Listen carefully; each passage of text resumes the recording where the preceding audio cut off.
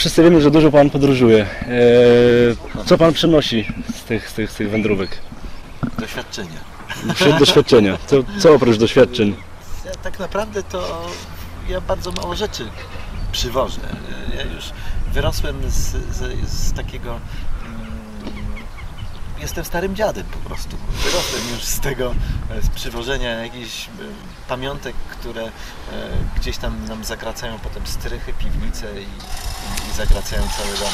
Jeżeli już coś przywożę, to, to albo, albo coś bardzo praktycznego, co może mi e, m, przypomnieć te miejsca, w których byłem.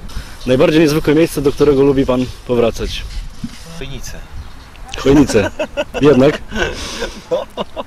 Ja, ja kocham przyjeżdżać do Chojnic. Ja dzisiaj rano wstałem sobie, szybko wypiłem kawę e, i fru na rynek. Słońce świeci, błękitne niebo, przepięknie, czyściutko, kolorowo, ludzie uśmiechnięci. Wszędzie niezwykły porządek. To, to nie jest taki porządek, który spotyka się e, powiedzmy we wschodniej Polsce, czy, czy w Polsce centralnej, na Mazowszu.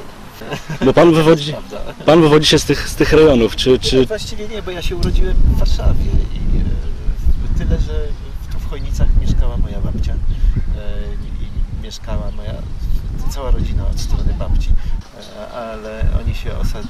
osiedli tutaj tak przed II wojną światową w Chojnicach i tak część z nich została już w Chojnicach. Moja babcia tutaj mieszkała i ja całe dzieciństwo spędzałem w Chojnicach siłą rzeczy, wszystkie wakacje. Mam nadzieję, że Chojniczanie wszyscy sobie zdają z tego sprawę i doceniają to.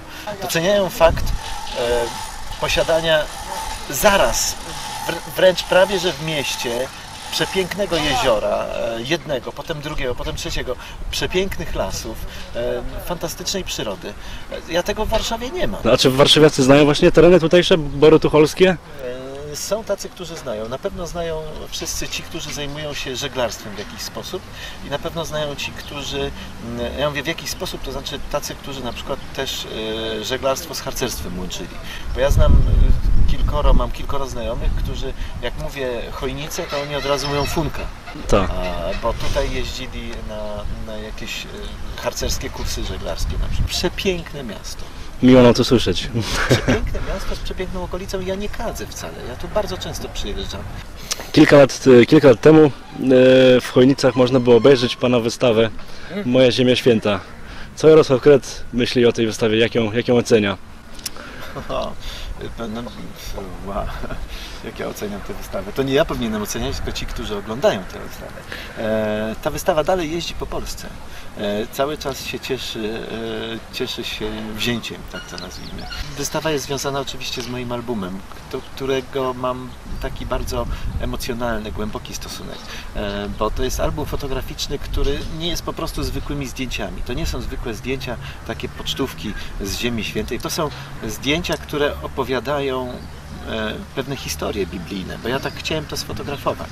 Jeżdżąc po Ziemi Świętej chciałem odnaleźć miejsca związane z e, pewnymi zdarzeniami biblijnymi z, e, i e, z pewnymi zdarzeniami, o których się każdy z nas uczy nawet na lekcjach religii po prostu. No, takie prywatne pytanie od e, bratanicy. Nie, nie, nie wiem, czy dobrze to wymówię, ale czy pytała się, czy poznał Pan Shung Rung Ham? Jakiś, czy, czy Sharuk Khan. Sharuk Ham? Sharuk Khan. Nie, Sharuk Khan, o, e, dokładnie. sz- No tak, to jest jeden, jeden z indyjskich e, e, gwiazdorów e, Bollywoodu. E, Ja przyznam, że ja obracałem się w kręgach e, filmowych, nie, nie ma co ukrywać, bo tam moja przyjaciółka indyjska e, jest aktorką, to taką dosyć znaną w świecie. Teraz e, zupełnie inne pytanie. Jak się e, Pan czuje w roli Tetusia? A bardzo dobrze.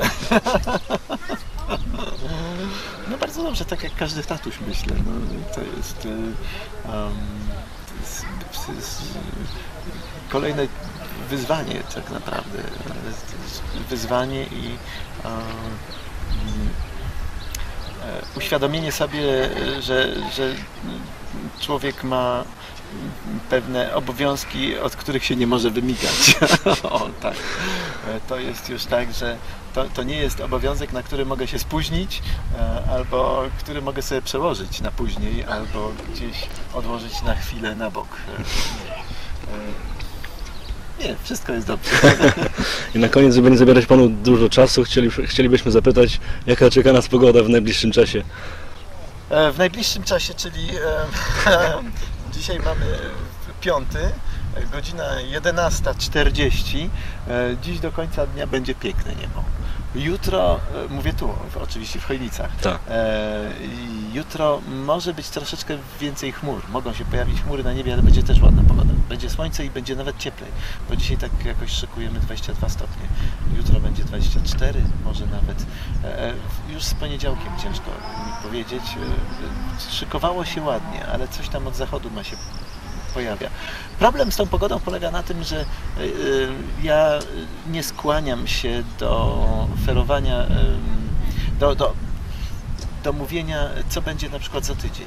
E, Nie wierzę takim prognozom. To jest prognoza, która mówi, e, co będzie za tydzień czy za 10 dni, mówi e, połowicznie. To znaczy, możemy się spodziewać tego, albo wręcz czegoś przeciwnie. To już jest naprawdę na dwoje babka wróżyła.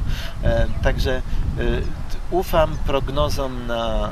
Ufam. Ja nie ufam prognozom, bo prognoza to jest tylko prognoza. Także jeżeli ktoś mnie pyta, jakie będą wakacje, jakie będzie lato, nie odpowiem. I e, e, mówię z ręką na sercu wszystkim, którzy mnie słuchają. Jeżeli ktokolwiek będzie Państwu mówił, że będzie przepiękne lato i będzie słoneczne i susza, albo ktoś będzie mówił, że będzie lało w kółko na okrągło, to proszę w to wierzyć tak samo, jakby Państwo wierzyli w to, że e, w to lato będzie padał śnieg. Po prostu to są wyssane z palca bajki. No, prognozy na, na kilka miesięcy w przód buduje się tylko i wyłącznie na podstawie porównawczym, materiału porównawczego z poprzednich lat. A przecież widzimy, że w tej pogodzie nie ma co porównywać, bo to nie jest tak, że skoro dzisiaj padało, to jutro, skoro luty był deszczowy, to marzec nie będzie deszczowy.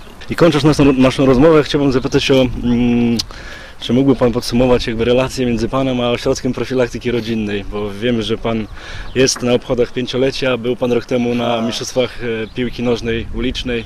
Ja Czy możemy jestem- liczyć na następne wsparcie jakby w następnych latach? Ja jestem pod ogromnym wrażeniem e, tego, że tu ten ośrodek tak prężnie działa, że ma takie e, sukcesy, bo rzeczywiście o, o ośrodku słychać w całej Polsce. O, o, no, słychać o, o, o sukcesach, e, nazwijmy to prawnych na przykład, pewnych rozwiązań e, współpracy z, e, czy to nawet z prokuraturą, czy z policją, bo to też jest ważne, bo to jest ośrodek profilaktyki rodzinnej, ośrodek, który dba o rodzinę i dba o to, żeby w rodzinie się źle nie działo, a, a o to e, nie tylko musi dbać ośrodek, ale całe społeczeństwo również, no ale też i organa ścigania, no bo jak się źle dzieje, to trzeba ścigać tych, co, co, co, co źle robią. No i okazuje się, że nagle e, ten ośrodek wyrasta na taką ogólnopolską gwiazdę, bo tu do ośrodka wszyscy się zwracają i pytają, jak wy to robicie, że wy sobie tak dobrze tu radzicie. E, Także jestem naprawdę pod, pod wielkim wrażeniem, a ja jestem z kategorii tych, którzy przyłączają się do zwycięzców. W związku z tym ja się zawsze przyłączam do ludzi z sukcesu i przyłączam się do miejsc, które są z sukcesem, dlatego przyjeżdżam do Chojnic i dlatego przyłączam się do działalności ośrodka. I z chęcią będę swój czas poświęcał temu, żeby promować działanie ośrodka e, jak najszerzej tylko można. Może coś powiedzieć. Raz, raz. Obojętnie. Obojętnie co. Raz, dwa, raz, dwa, trzy. Super.